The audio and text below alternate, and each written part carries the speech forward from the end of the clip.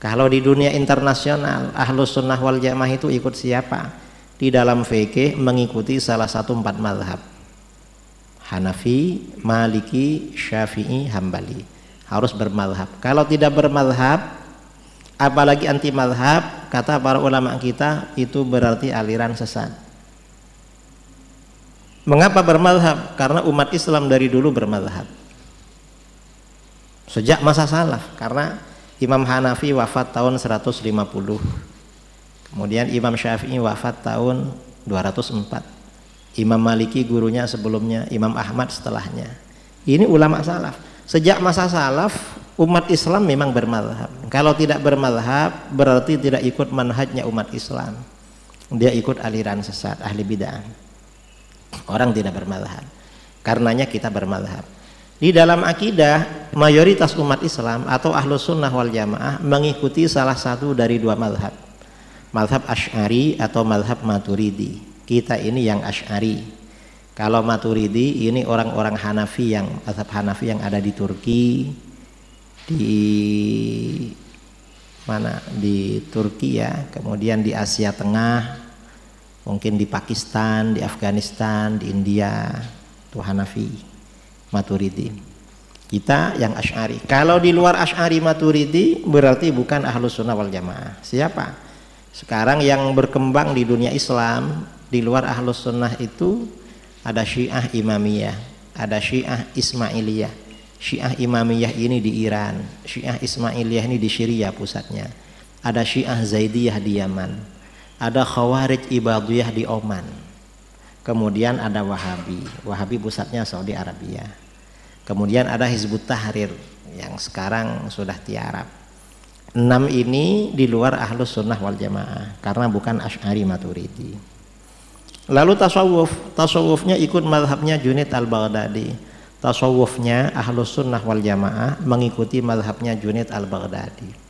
Keluar dari madhabnya Junid al-Baghdadi, maka tasawufnya menjadi tasawuf aneh-aneh. Nanti orang-orangnya ngaku-ngaku wali, anak buahnya diangkat wali. Akhirnya menjadi wali ulang. Saudara tahu wali ulang? Lagu di Jawa dulu ya. Wali ulang menjadi itu akhirnya menyimpang nah ini kita harus berpegangan istiqamah dengan ahlus sunnah wal jamaah nggak boleh keluar dari ahlus sunnah wal jamaah mengapa ahlus sunnah wal jamaah ini golongan yang selamat di luar ahlus sunnah wal jamaah diancam masuk neraka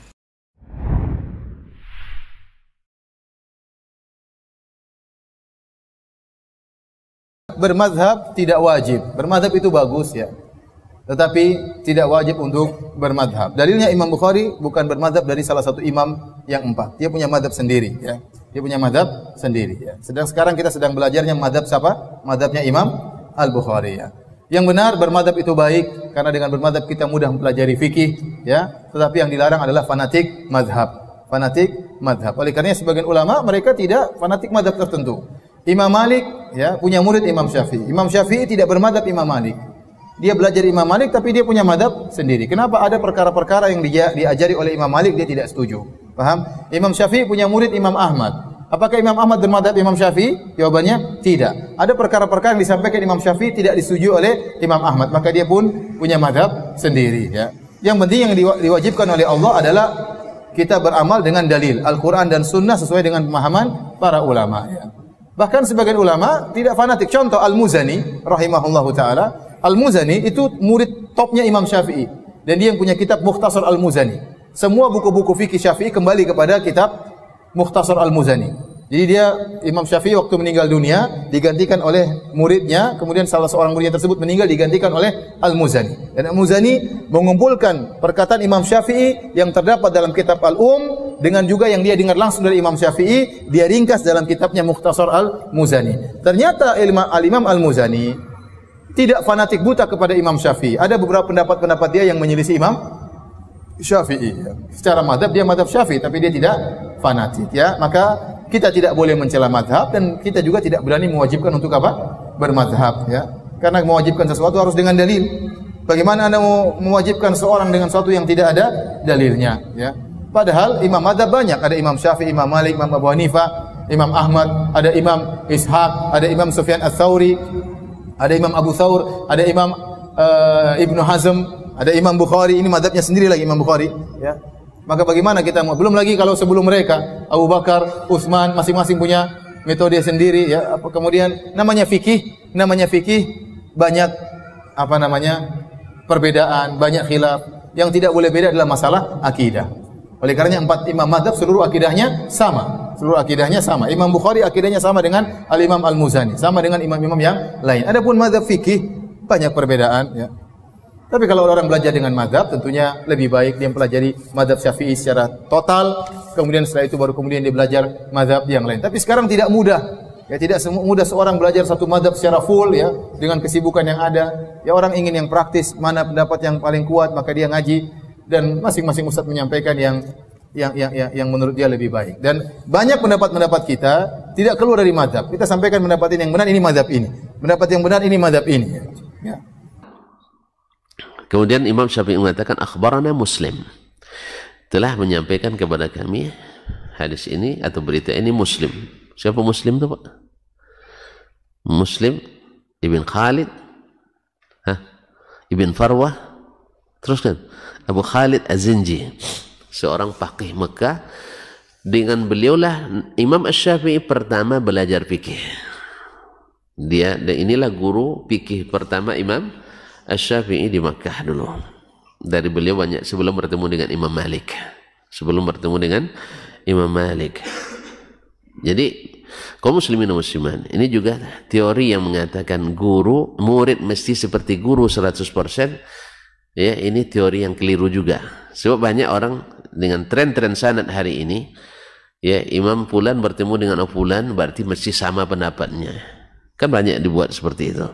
Ini framing ini bahwasanya antara Imam Syafi'i dengan Imam Malik banyak beda pendapat. Banyak. Maka jangan disangka bahwa sekarang kita ketika bermazhab, misalnya mazhab Syafi'i, bisa seperti Syafi'i 100%? Tidak ada. Pasti ada perbedaan pendapatnya. Maka jangan dipaksa. Oh, antum hambali, mesti hambali 100% tidak bisa. Syafi'i mesti 100% Syafi'i 100% tidak ada yang bisa. Tidak ada yang bisa. Oleh sebab itu, maka kewajiban mengikuti satu mazhab adalah kewajiban yang batil. Tidak ada yang bisa. Ya. Yang bermazhab Syafi'i sekarang tidak bisa belanja di supermarket, tidak bisa. Nah masuk tol tidak boleh. Ya tidak boleh. Kalau pegang mazhab Syafi'i, apalagi kartu kredit. Tambah tidak boleh nanti.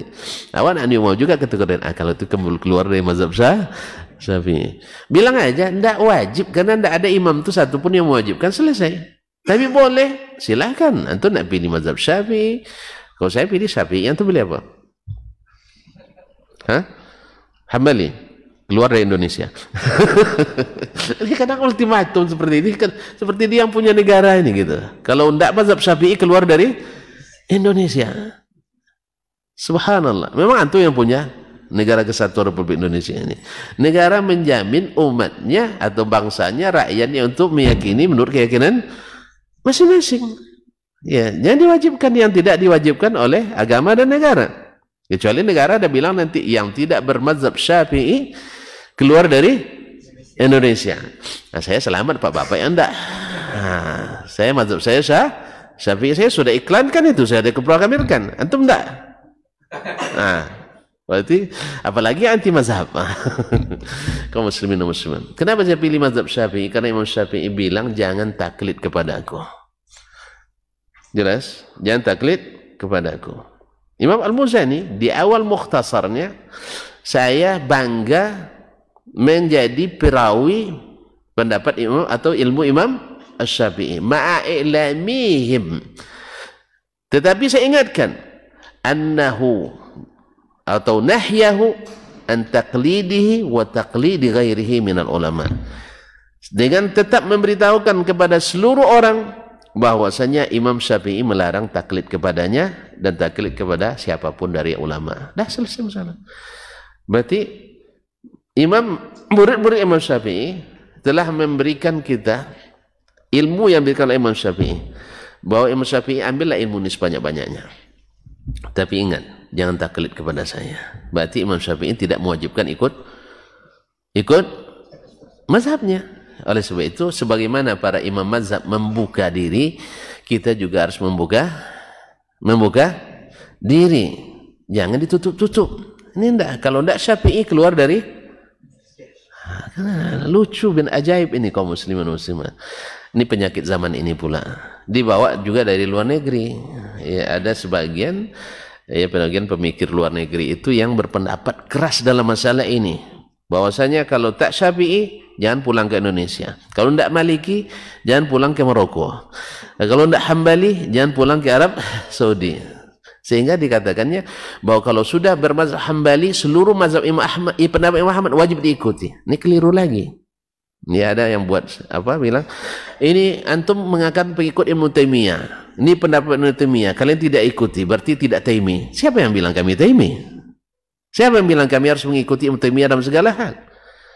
Kita tidak pernah mengikat diri dengan alim minal ulama kecuali dengan Rasulullah sallallahu alaihi wasallam. Cuma kenapa ikut Imam Syafi'i? Karena dia adalah pintu besar kita menuju memahami sunnah Nabi sallallahu alaihi wasallam. Sekali-sekali kita masuk pintu kecil pula. Di saat pintu besar agak sesak, masuk pintu pintu apa namanya? Pintu cadangan. Atau pintu raha, rahasia. Makanya tidak ada alasan untuk 100% ikut Syafi'i tidak ada.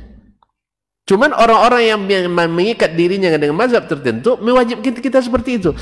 Ini Ibnu bilang seperti ini. Kalian katanya ikut Ibnu. Siapa yang bilang Ibnu jadi nabi kita? Nabi kita adalah Muhammad sallallahu alaihi wasallam. Ketika Imam Ibnu Taimiyah rahimahullah ya, dalam satu masalah ya menurut yang kita pahami tidak seperti yang dilakukan atau disarankan oleh Nabi kita alaihi salatu saat itu kita bilang mohon maaf Syekh dengan segala hormat seperti kata Harmal ibn Yahya at-Tujibi Asy-Syafi'i habibun ilaina walakin al-haqqa ahabbu ilaina. Syafi'i itu kami cintai dengan sepenuh hati.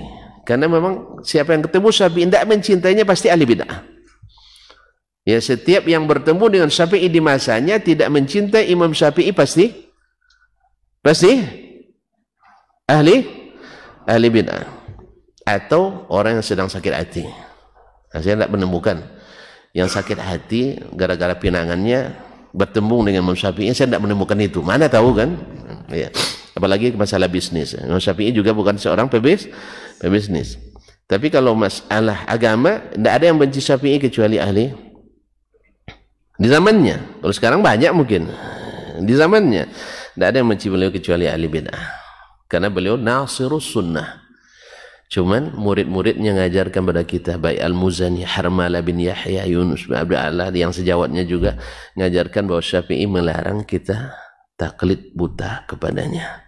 Makanya bila ini bertemu dengan syekh ini tidak mesti 100% seperti itu. Kita bukan seperti masuk fotokopi tidak.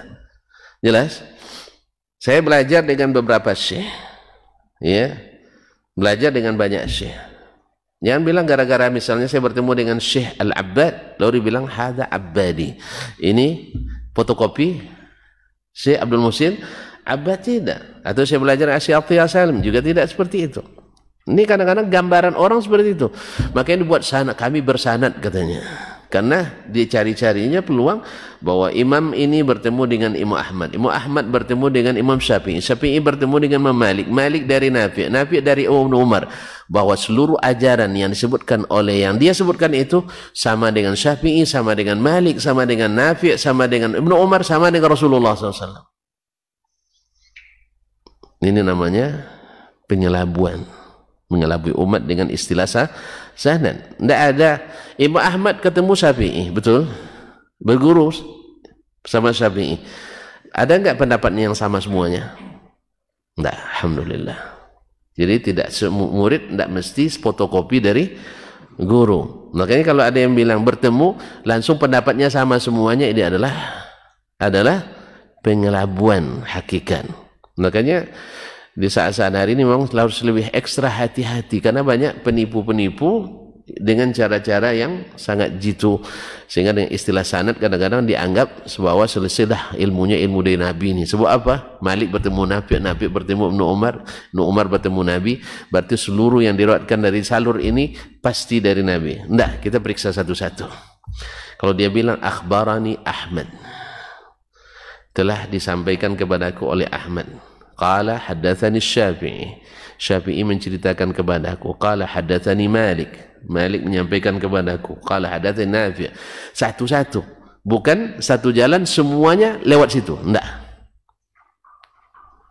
Kata Imam sebagian ulama ahli hadis uh, bahwa di antara ciri riwayat-riwayat palsu itu adalah seluruh riwayat dari satu jalan. Seluruh riwayat dari satu jalan. Ini harus dicurigai dari awal. Satu ajaran semua sanad satu aja dari situ semuanya ini perlu dicurigai. Kecuali kitab. Kalau kitab diriwayatkan mungkin dari satu jalan. Ya kalau dia riwayatkan kitab misalnya Sahih Bukhari riwayatkan dari jalan syekhnya satu dia.